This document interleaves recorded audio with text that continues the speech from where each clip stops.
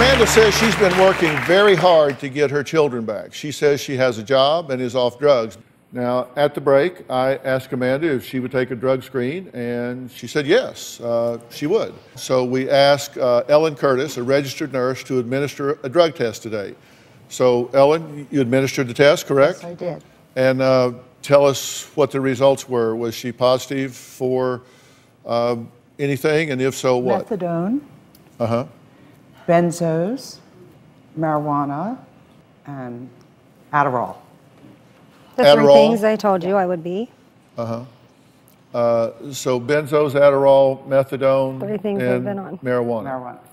And do you? What do you have prescriptions for? I have prescriptions for all three. Uh huh. And why did you not provide those to us? Well, it was last minute. I can call and get that. Well, no, it wasn't mean, last minute. it was last minute. No, it wasn't been- last minute. It is when you don't have a car and you're trying to get everything done. You're smoking dope. That's Well, Not my I, I had told her about that. Oh, there is I- that. Yeah, there, there was that. Uh, But I mean, I was honest. I gave you guys a test to prove I'm not doing anything. I told her. I Yeah, told I- you right when I got out of jail that I smoked. I told you you were sitting right there. The thing that I, I'm concerned about is you're, you're continuing to play the victim and say that all of your problems here are because of your mother. And I haven't heard you one time for one minute say that you are at all grateful that someone is housing, feeding, clothing, supervising, nurturing. No, I've, I've and always loving said your that. children. I am grateful for that. Okay, so what do you want her to do? I want her to give me my kids and leave me alone. It's not up to her. No, but she needs to stop interfering. There are two children whose lives hang in the balance here.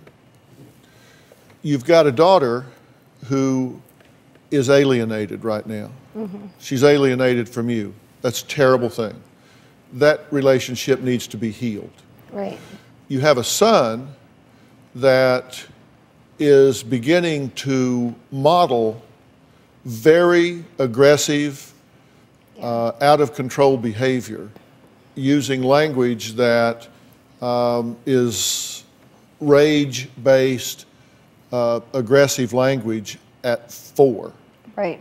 And let me tell you, when people come to me with kids that are 15 and 16 that are knocking holes in the wall and storming out of the house and wrecking cars, and they say, he just, I don't know, just all of a sudden. No, that, those are the kids that were acting this way when they were 4 mm-hmm.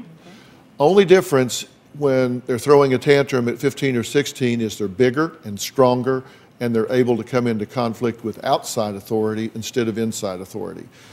If you want to be a responsible parent, you will put their interest ahead of your own.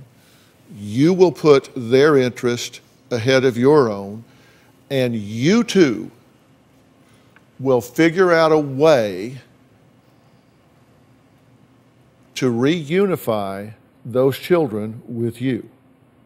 You too will figure out a way to coexist and co parent or stay to hell away from each other. Yes. And if you cannot, if you cannot come into her home and treat her with dignity and respect, then you need to stay out of that home.